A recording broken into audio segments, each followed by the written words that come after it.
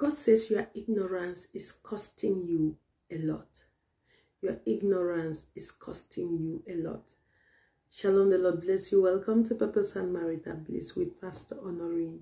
I have a prophetic word for someone. And this word is coming to us from Matthew chapter 22 and verse 29. Jesus replied, You are in error because you do not know the scriptures or the power of God. What you don't know is always bigger than you. What you don't know is always greater than you. The Bible says, My people perish for lack of knowledge, not for demonic of oppression, not for, for, for witchcraft manipulation, but people perish for lack of knowledge.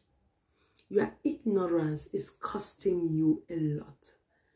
I don't know who I'm talking to, but you are in a position where you are manipulated spiritually, physically, and it's because you don't know.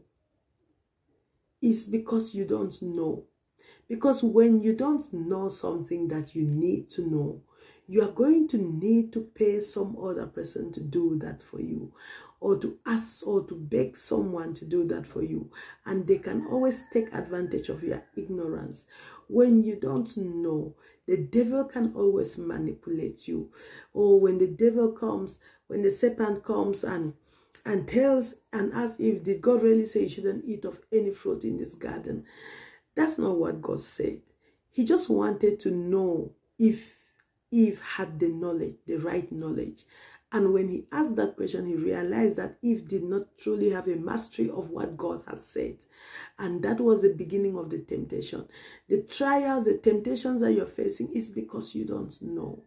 What you don't know is bigger than you. Make up your mind to go for knowledge. Make up your mind to learn, to equip yourself. Make up your mind to upgrade your knowledge and you realize that many of the things you face challenges with, many of the things you feel frustrated with, it won't be so. And it's going to increase your value to wherever you enter. God bless you. Shalom.